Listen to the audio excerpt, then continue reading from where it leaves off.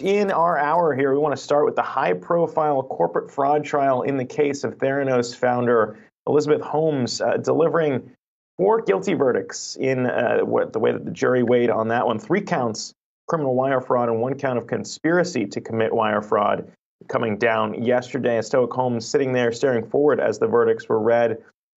Importantly, the jury uh, unanimously found her guilty of illegally fleecing investors out of millions of dollars through her company. However, the jury was deadlocked on three counts of wire fraud, and she was found not guilty on four counts of defrauding patients. And for more on that, I want to bring on uh, Jacob Frenkel here, Dickinson Wright Securities Enforcement Practice Chair, who joins us.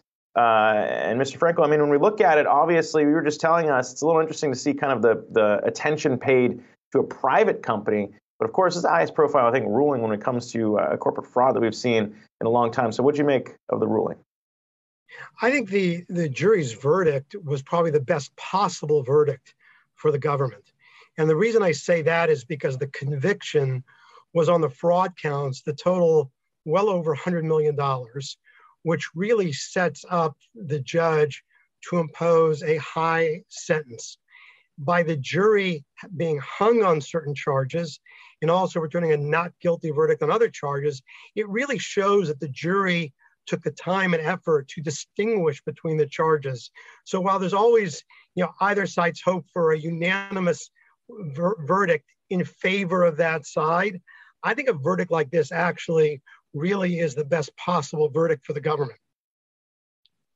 What kind of sentencing are we, are we talking about for Elizabeth Holmes? Every one of these charges carry with it about 20 years in jail. There's debates about whether, in fact, they could be served concurrently, whether it is 20, whether it could be, you know, closer to 60. I mean, what do you, what do you draw from this as we await the sentencing?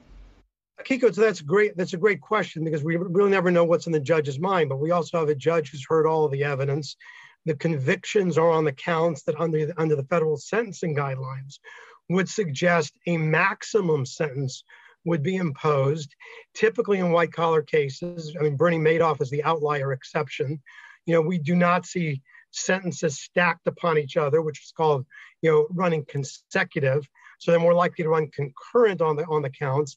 But I could easily see the judge impose a double digit sentence here because we not only have the facts, the counts on which the jury returned a verdict of guilty, but also the message that the judge potentially will want to send in a case like this, because even though the charge was wire fraud, essentially what you have is securities fraud, defrauding investors in an amount that totaled well over $100 million and doing it in the context of a company that's not yet publicly traded.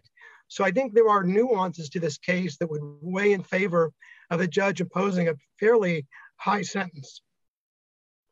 It's a double digit, double digits years uh, to watch. Obviously, an appeals process could drag out. It could have a, a, bit of a back and forth over, I guess, what the final amount of time served will be. But when it comes to, I guess, historical precedent maybe Americans have out there for justice being served, maybe fears that some of it could get whittled down, particularly what we've seen, as you said, in the white collar criminal space.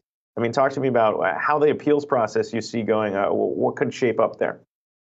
Yeah, the judge tried this case very carefully. I mean, t- I mean, it's it's unlikely that an appeal would result in changing the sentence. I think one of the unanswered questions is whether the judge is going to remand um, Elizabeth Holmes into custody, uh, you know, either pending sentencing or after imposing sentence, pending appeal, which is well within the discretion of the judge. The judge was very careful in trying this case, so it's not terribly likely we're going to see any reversible error. Certainly, Elizabeth Holmes's lawyer is going to be jumping up and down, arguing for the you know for the appeal and putting the best their best foot forward. But the fact is, Elizabeth Holmes testified. That was a gambit, and ultimately, the jury made its decision in large part based on whether it did or did not believe Elizabeth Holmes. So I think the appeal is going to be a is going to be tough sledding for for the defense. And I think we're likely um, to see a sentence, in, a, a real sentence imposed um, on her at you know at the end of the sentencing process. The other thing to keep in mind is that although she was acquitted on a number of counts and the jury was hung on a number of counts, the judge under the federal sentencing guidelines can consider all of the facts in imposing sentence. And I think there, there will also build in the element not just of her having defrauded investors, but but her conduct vis-a-vis the patients as well. Jacob, there is an argument to be made here that what Elizabeth Holmes did, specifically with Theranos, isn't necessarily something that is unique, especially among these tech startups who are trying to raise a lot of money, sort of inflating the claims until the facts actually catch up to those claims. We heard from the DOJ several months ago saying they really want to, to crack down on white collar crimes. There were some policy changes that were announced back in November. How much of this you think could be a catalyst for tougher enforcement? I don't know about a, about catalyst, but certainly a, a confidence builder. I think had the government lost, there would have been a lot of head scratching as to you know the theory around building some of these cases.